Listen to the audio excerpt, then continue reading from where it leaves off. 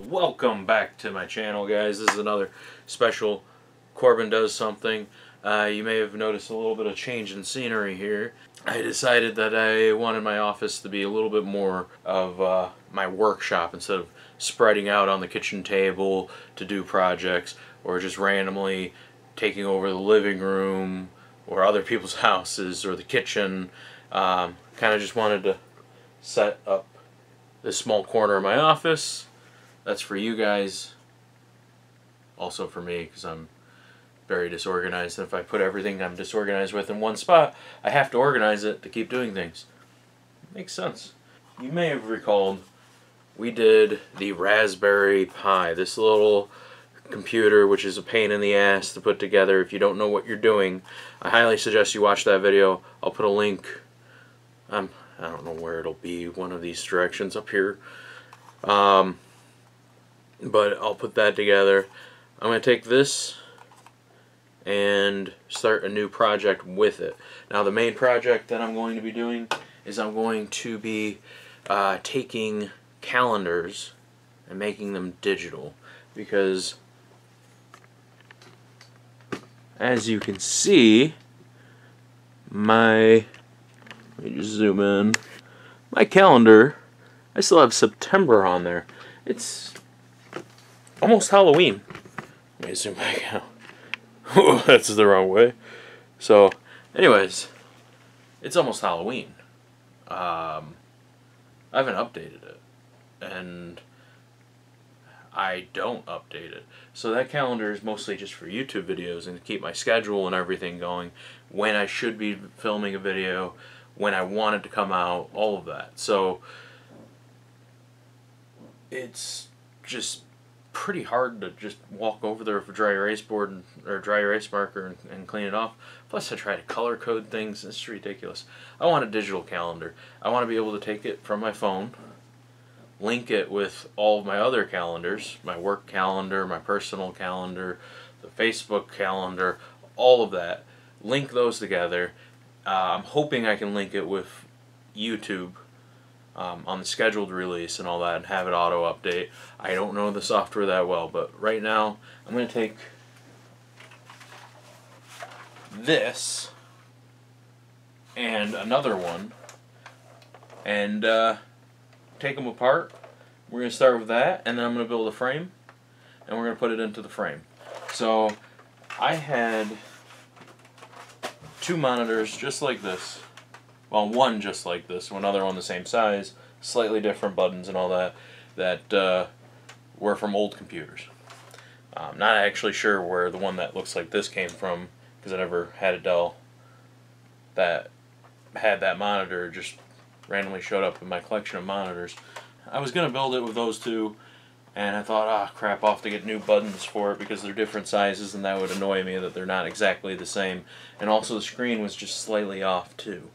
Um, then I went to the Salvation Army, and I picked this up for $12.99, and it might have even been on sale. And uh, it's 17 inches. That's what I told her, at least, you know. But we're going to take that, we're going to take it apart, and uh, we're gonna go from there. So, first thing we're gonna do is uh, just unscrew the back here.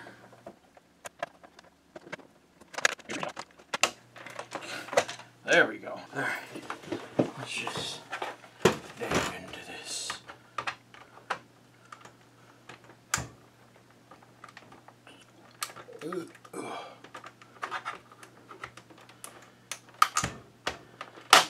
There it is. So you can maybe see there's little divots in the screen or in the plastic here. I think those are the breakaway points.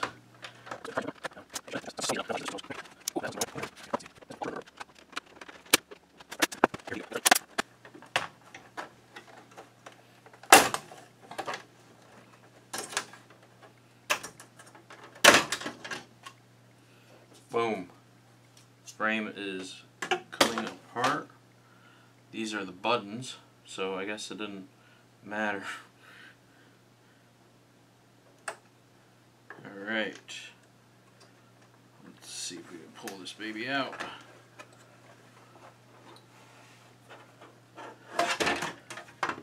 Nice. All right.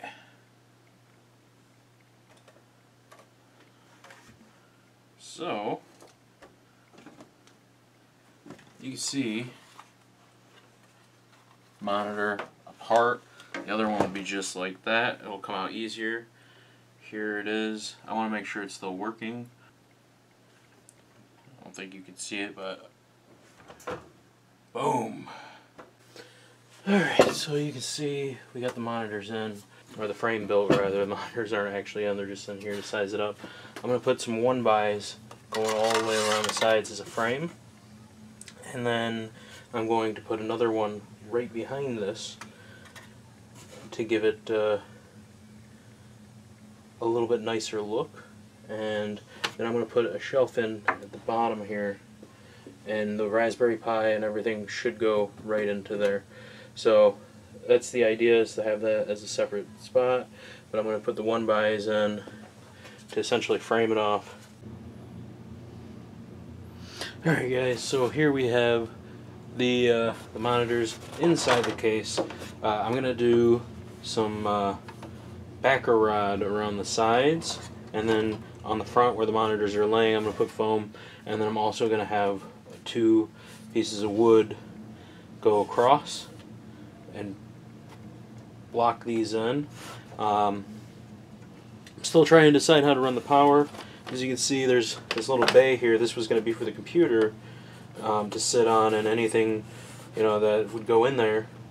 But it, I still got to run the power through it, so through it to it. So I also have to figure out what to do with these. I'm not really sure. Um, they might just sit loose for a little while. I don't really need them, but I don't want to lose them. So we're gonna go with that. I'm gonna cut some wood and uh, get to it. All right. Okay, so you can see in here I put uh, a little bit of this stuff. It's a sponge window seal. I put it around, and this is gonna fill in any gaps. I'm gonna do a quick test. We got the monitors in here. Um, all plugged up. I'm going to plug it in. I went ahead and got these adapters, $7.99 off of Amazon. It looks higher quality than the last ones. Let's hope it works. These are going to go into the HDMI ports on here. There's one, and there's two. I plug in the USB-C. Alright. And now, for the moment of truth, where is this going to go? Put her in right here. It's a little bit of a mess, but... Oh! Right away, right away.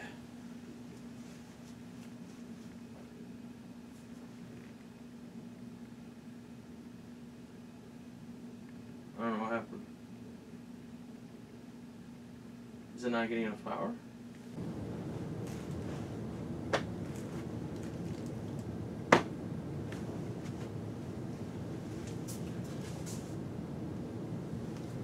Can't see both of them. Can you? No, you can. All right, good. Both of them are working. So, Raspberry Pi wasn't at fault. Apparently, every USB charger that I have sucks. Except for my cell phone one.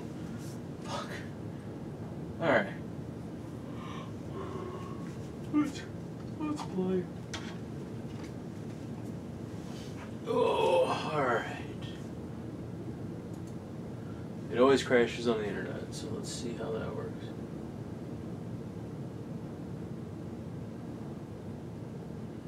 Boom.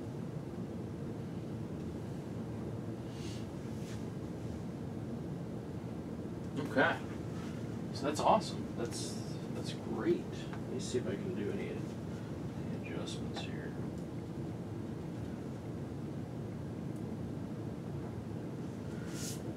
crank that brightness up.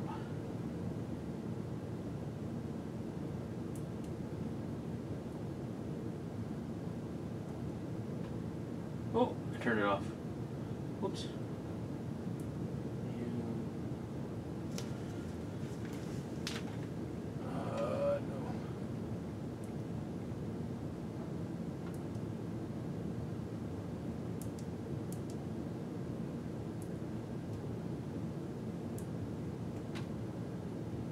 Brightness up. Awesome.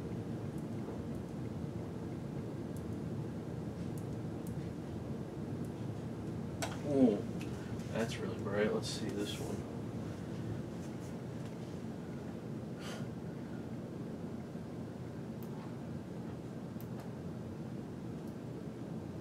Okay, let's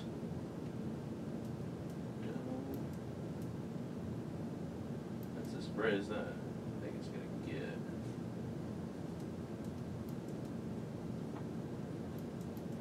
There we go.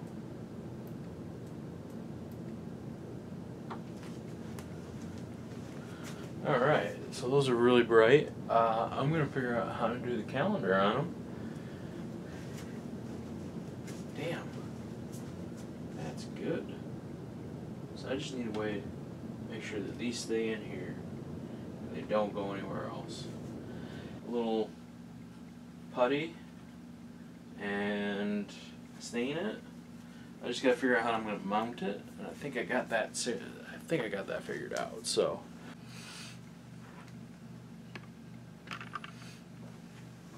Alright guys, so just to show you where I'm at right now, I got the top monitor set up with DAC board. Free one screen per a free account. Um, very limited in function, but I have it connected to my Google Calendar, and I have the weather and the time. Um, put it into full screen mode. I'll set it up to uh, stay and boot it oh, automatically. And I'm gonna look for something for the uh, bottom screen. See if I can find something better than DAKboard. I really wanted color coding, but I can't do that with DAKboard. So that's actually really cool. It allows me to play a video behind it. So I just kind of threw the play uh, my one of my playlists in there, and it plays it. There's no sound, obviously. That's not coming yet. So. Uh, well, that's where I'm at. So we're gonna finish this thing off and, and hang it up.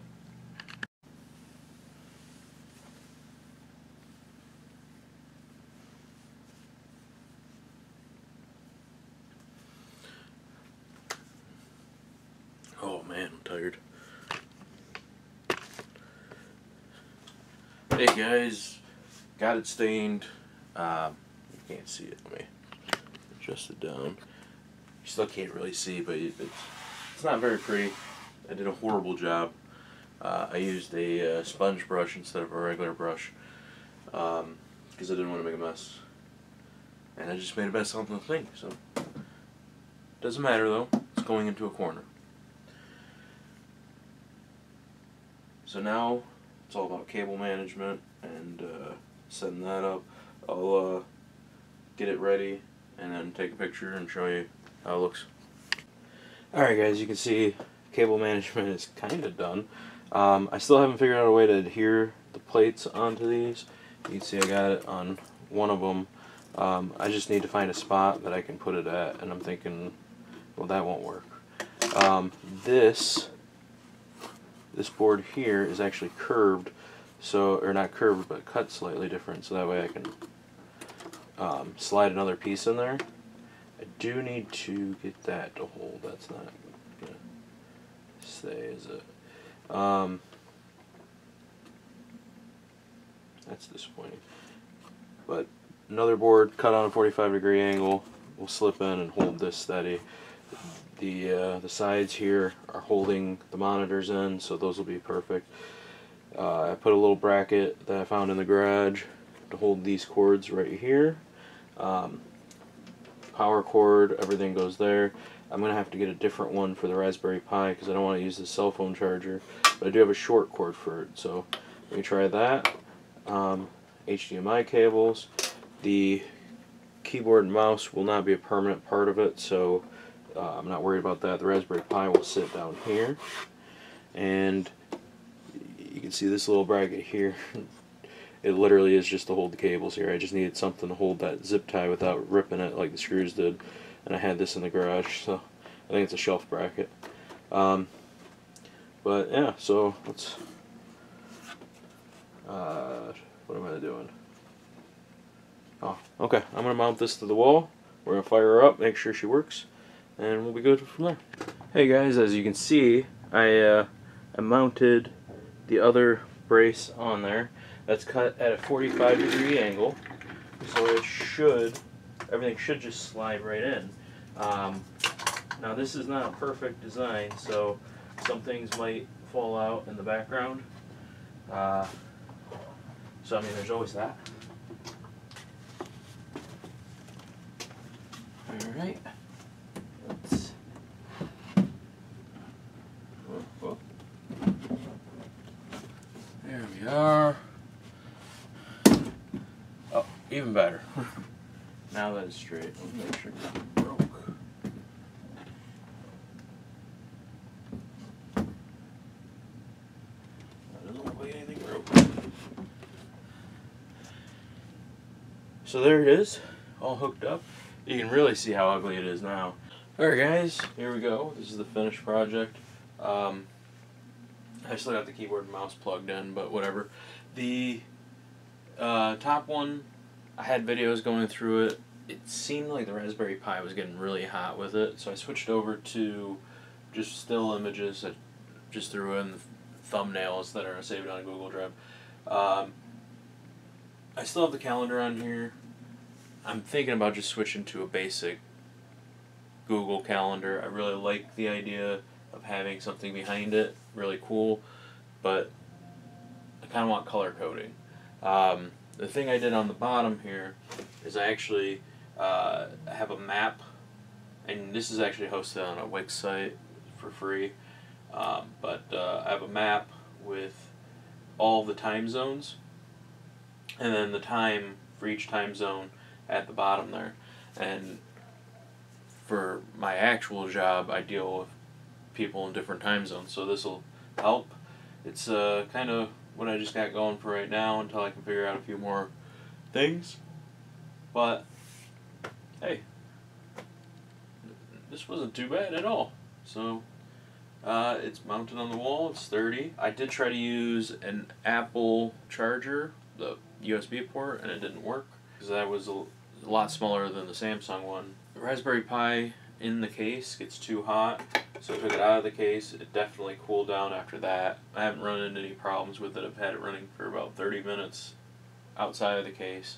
It uh, it froze up after 20 minutes on the other one. So if you have any ideas on what else I can do with this, I really do like the calendar feature, but I want it color coded, and I can't do that unless I want to pay four dollars a month. I'm not paying four dollars a month for color code. I'll get rid of the background image. So let me know what you think. Leave a comment, like, subscribe, hit that bell notification, and uh, give me some ideas. This is literally just a prototype, so it looks like garbage. But you know what? Here's a tip. Don't buy construction grade wood at Home Depot for finer projects. There's also exhaust up here. I'm going to put a fan in here just to kind of blow it through. It is open on the back and uh, you see there is no cords. It is going straight through the wall and powering it. So this is actually really cool. I like it. I can see all the time frames, my main time frame, everything's on there. It's good. I don't know what else to say. Just like the video already.